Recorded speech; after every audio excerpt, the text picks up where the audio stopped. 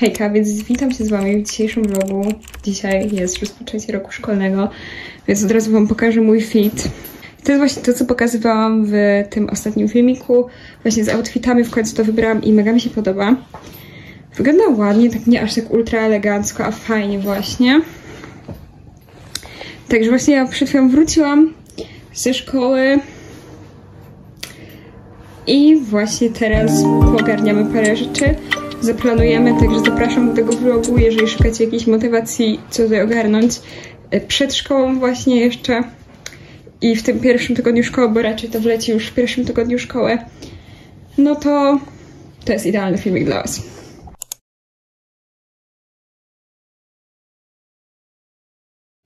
Hejka, witam Was w dzisiejszym vlogu, więc dzisiaj robimy troszeczkę taki powrót do rutyny i generalnie powrót do szkoły, więc do takiej ogólnej, ogólnej rutyny, więc ogólnie cieszę się w sumie na ten filmik. Może mnie też troszeczkę bardziej zmotywuje i zmotywuje też przy okazji Was, więc dzisiaj nawet się pomalowałam, bo szłam na paznokcie, więc pewnie już widzieliście na Insta, ale mega mi się podobają, więc e, po prostu troszeczkę poprawią humor na nowy rok szkolny, także cieszę się, że je sobie w końcu zrobiłam. Jakoś tak się inaczej czuję, dawno nie miałam pomalowanych rzęs, ostatnio jakoś stawiałam tak na niby z makijażu, więc w ogóle nadal mam tutaj przestawione inaczej łóżko, ale e, później z powrotem przestawię, tylko że na razie po prostu potrzebuję takiego ustawienia, bo będę chciała jeszcze ponagrywać troszeczkę filmików z outfitami właśnie na tej ścianie, co mam tutaj bo idealnie się do tego nadaje, bo w innym miejscu w moim pokoju nie da się za bardzo nagrywać takich filmików jeszcze, żeby troszeczkę światła z okna wpadało, a ja też mam pokój jakby od tej strony niesłonecznej, więc to jest zawsze dużo, dużo większy problem, no ale jakoś musimy sobie radzić. Okay, a więc mi zawsze w takich dniach właśnie, kiedy potrzebuję wrócić do swojej rutyny pomaga zaplanowanie wszystkiego, może być nawet w notatniku w telefonie, wypisuję sobie różne rzeczy do odhaczenia, dużo, dużo nawet takich poszczególnych małych, łatwych rzeczy do zrobienia, bo pomaga mi to po prostu się jakoś zmotywować i widzę, że robię jakieś te rzeczy, więc właśnie dzisiaj mam do wystawienia, w sensie najpierw zrobienia zdjęć, potem do wystawienia kilka rzeczy na Vinted. Jest to parę ciuchów i jeszcze właśnie wszystkie moje książki, ale mam nadzieję, że te książki szybko się sprzedadzą, bo dzisiaj jest już 1 września, więc first of the month, ale właśnie chciałam już powystawiać te rzeczy. Wiem, że jakoś zbyt szybko to się do tego nie wzięłam, ale byłam cały czas w jakichś rozjazdach, więc nie miałam kiedy tego zrobić, także... E, no, ale mam nadzieję, że się szybko sprzedadzą. W tamtym roku też jakoś strasznie późno wystawiałam te książki, a mega szybko się sprzedały. I ja muszę sobie też dokupić parę podręczników, bo jestem tak przygotowana na ten nowy rok szkolny, że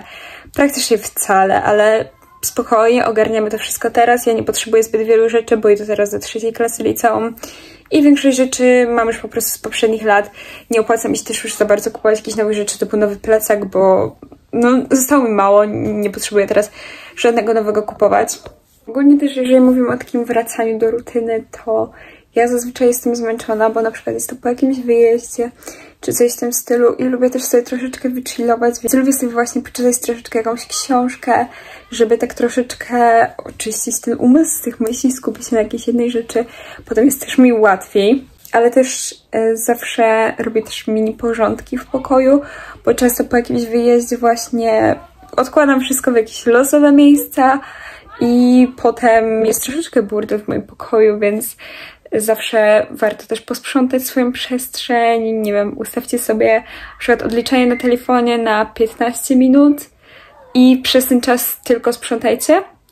i nie sięgajcie po telefon, nie rozpraszajcie się jakimiś innymi rzeczmi i naprawdę szybko wam to pójdzie, bo to się tak wydaje, że to zajmie mega dużo czasu, a tak naprawdę to jest coś szybkiego do zrobienia, tylko po prostu to odkładacie, więc nie odkładajcie tego, bo i tak będziecie musieli to zrobić, a tak też będziecie mieć to szybciej zrobione i będziecie mieć już to z głowy, więc polecam. Jeżeli chodzi też właśnie o taki powrót do szkoły, to ja zawsze muszę się przestawić też na wcześniejsze godziny wstawania, to jest wiadomo, to logiczne, ale też właśnie muszę wiedzieć, ile mi mniej więcej czasu zajmuje mi jakie czynności rano i znowu po prostu na to spojrzeć, o której wstać, więc po prostu zobaczę na przykład, ile mi teraz zajmuje makijaż i właśnie ile czasu na to potrzebuję, właśnie ile czasu mniej więcej robię śniadanie, żeby mieć już to jakoś zrobione, zaplanowane i tak samo chcę już sobie poplanować jakieś outfity do szkoły, więc będzie z tego sporo filmików właśnie tutaj na YouTubie, na TikToku, więc od razu zobaczycie. Tutaj już tablicę korkową kiedyś wcześniej zmieniałam, więc wygląda ona w tym momencie tak. E, wiem, że ona nie jest taka ultra estetyczna, ale dla mnie po prostu jest w moim stylu i są tutaj rzeczy, które ja lubię, więc no, to jest bardziej coś takiego. I właśnie tutaj są te paczki pierowe, tutaj jest ta lampa solna. I tutaj mamy właśnie te wszystkie organizery. To jest zawsze standardowo na kawę, więc to, albo herbatę, więc to już stoi tutaj zawsze, to już jest element mojego pokoju, więc możesz sobie kupić jakiś właśnie ładniejszą, taką podstawkę pod gorące napoje, ale właśnie tutaj mamy e, moje zakreślacze, te tutaj są z e, Action, te są z Oszons kiedyś, te są z AliExpressu, tutaj są z Bika różne i te zmazywalne, nie pamiętam jak się nazywa ta firma. Tutaj są cienkopisy Stabilo, to jest z AliExpressu, tutaj mamy promarkery, tutaj też są zakreślacze z AliExpressu i to jest z Biedronki bodajże, więc to są wszystkie takie najpotrzebniejsze rzeczy. I tutaj mam zawsze kalendarz, a tutaj jest ta moja wcześniejsza półka na książki, więc tutaj nadal mam książki perfumy tam u góry, ale mam też właśnie dodatkowo tutaj tą półkę, to jest moja ulubiona półka, moje ulubione miejsce w pokoju, teraz przysięgam. Okej, okay, a więc przechodzimy do tej kamerki. Ogólnie dzisiaj rano, jak się ogarniałam, skoczyło mi tutaj coś, więc muszę to ogarnąć zaraz, bo po prostu nie wyrobię, nie będę mogła patrzeć, jak będę montować później ten filmik. Już wiecie co, dochodzę do wniosku, że chyba nie da się z tym nic za bardzo zrobić. No. Yy, także nie zwraca się to uwagi. Ok, a więc stwierdziłam ogólnie, że nie będę nagrywać takiego oddzielnego filmiku, jakby jeszcze takiego back to school, tylko po prostu w tym vlogu, takim już z typowego powrotu do szkoły, opowiem Wam kilka takich rzeczy, w skrócie, które chciałam Wam przekazać właśnie na ten nowy rok szkolny, czyli właśnie w tym nowym pierwszym tygodniu, jak to oglądacie. Więc tak, po pierwsze, fajnie jest zmienić właśnie coś w pokoju, zmienić ogólnie swoją przestrzeń, zmienić coś na biurku, pozmieniać ogólnie ułożenie rzeczy na telefonie, na przykład tapety, aplikacje, zmienić coś na laptopie, pousuwać zbyt dużo zdjęć, wiecie, po prostu ogarnąć, zrobić sobie wszędzie porządek, tak samo w pokoju, jak i właśnie na urządzeniach elektronicznych, bo po prostu będzie Was też to troszeczkę męczyło w roku szkolnym, jak nie będziecie mieć na przykład miejsca na telefonie, albo będziecie mieć wszystko porozwalone w jakichś różnych miejscach i nie będziecie mogli tego znaleźć, to będzie Wam to dużo czasu zabierać, więc po prostu zajmijcie się tym teraz, jak macie jeszcze chwilę. Drugą rzeczą jest zrobienie sobie vision board, ja bardzo polecam właśnie, może to Was tak fajnie zmotywować i też właśnie no, możecie sobie to gdzieś powiesić i będzie Was to motywować w ciągu tego roku szkolnego. Następne to jest zaplanowanie outfitów na ten cały tydzień. Na przykład polecam właśnie też, jak już macie weekend i wtedy planujecie outfity na kolejny tydzień, żebyście nie musieli stać rano przed szafą i wymyślać, co założyć, bo nie wiecie, co założyć. Po prostu zaplanujcie sobie to wcześniej, jakby jeżeli nie za bardzo wiecie, jakie macie rzeczy dokładnie, to polecam właśnie w tym momencie zrobić też porządki w szafie właśnie i posprzedawać ciuchy, których już nie nosicie, albo no nie wiem, y, oddacie czy coś. Więc to moim zdaniem będzie mega, mega dobry pomysł. Ok, kolejną rzeczą, którą ja zawsze robię, jeżeli idziecie no, do pierwszej klasy liceum, no to akurat to jakby nie będzie przydatne, ale ja zawsze, jeżeli już idziecie do jakiejś tam kolejnej klasy, no to ja zawsze przeglądam wszystkie moje zeszyty, patrzę, których na przykład, których z nich będę dalej kontynuować w kolejnym roku, no to wtedy jakby je zostawiam Patrzę też właśnie, jakie mam zeszyty, y, do czego będą mi potrzebne, wybieram mniej więcej jaki do jakiego przedmiotu. Możecie zrobić sobie właśnie już strony tytułowe, możecie poprzeglądać właśnie swoje przybory. Ja mam z tym często problem, że mam dużo w pokoju długopisów, które nie piszą albo których nie używam, które są w jakiś tam sposób rozwalone i po prostu powywalajcie to wszystko. Tak samo posprawdzajcie wszystkie zakreślacze, nie wiem, wszystkie tego typu rzeczy, cienkopisy, i sprawdźcie, czy Wam to nadal pisze i właśnie sobie wybierzcie te najważniejsze rzeczy, które Wam się na pewno przydadzą i weźcie je do piórnika. Nie bierzcie tak dużo jakichś różnych kolorów zakreślaczy, bo nie przyda Wam się to w szkole, a będziecie musieli tego nosić i będziecie mieć przez to cięższy plecak, więc możecie mieć te rzeczy na luzie w domu, a po prostu wybierzcie sobie kilka kolorów i noście je ze sobą, potem możecie je sobie wymieniać na przykład, ja tak zawsze robię. W tym momencie, jeżeli jeszcze tak nie zrobiliście, to jest reminder, żeby sprzedać książki i kupić wszystkie książki, których potrzebujecie. Możecie zrobić na Vinted, na Elixie, albo jeżeli macie coś takiego, to są też czasami targi książek, e, czy tam kiermasz książek, nie wiem jak to się nazywa, w waszej szkole, możecie zobaczyć, czy jest coś takiego. Inną rzeczą w tym momencie możecie popatrzeć, yy, na przykład są też wiele z takich filmików na YouTubie, możecie popatrzeć przykładowe rutyny ludzi i właśnie zobaczyć, co wam ile czasu zajmuje rano, i tak samo no, też chodzi o wieczorną rutynę, ale głównie o poranną rutynę, zobaczyć na co Wam ile schodzi czasu, jak będziecie się wyrabiać, ile czasu potrzebujecie na co i wtedy możecie sobie właśnie fajnie zaplanować to, co będziecie robić każdego dnia. Też jeżeli nie możecie się wyrobić czasowo, jeżeli chodzi właśnie o poranną rutynę, to polecam właśnie stworzyć sobie playlistę, która trwa tyle czasu, ile powinniście e, właśnie się rano ogarniać i potem po prostu wiecie, kiedy wam się kończy na przykład ta playlista, to znaczy, że macie, wiecie, tam wychodzić za jakiś czas, albo możecie w ogóle puszczać sobie na przykład jakiś odcinek podcastu, który trwa tyle minut i wtedy też patrzycie właśnie ile wam zostało czasu, więc no, to jest coś takiego, co możecie sobie właśnie puszczać w tle, umierać sobie czas, a przy okazji też wiecie, ile Wam jeszcze czasu zostało. Kolejną rzeczą może być zaplanowanie posiłków, czyli właśnie tego, co będziecie jeść na śniadania, też ile Wam to czasu zajmuje zrobienie takiego posiłku i właśnie poszukać jakichś fajnych pomysłów, też właśnie spojrzenie na to, co możecie zabierać do szkoły i zaplanowanie tego, co będziecie właśnie brać do tego plecaka, i właśnie też y, spakowanie ogólnie tych wszystkich rzeczy do plecaka, zobaczenie co będziecie nosić na co dzień, ogarnięcie na przykład takich rzeczy do kosmetyczki. Też nie przesadzajcie, jakby nie bierzcie wiele rzeczy. Wiem, że w tych filmikach z typu właśnie z tym, e, co mam w swoim plecaku w ogóle te wszystkie laski mają milion rzeczy w ogóle na każdą okazję w ogóle, ale wierzcie mi, tego się później nie nosi w tej szkole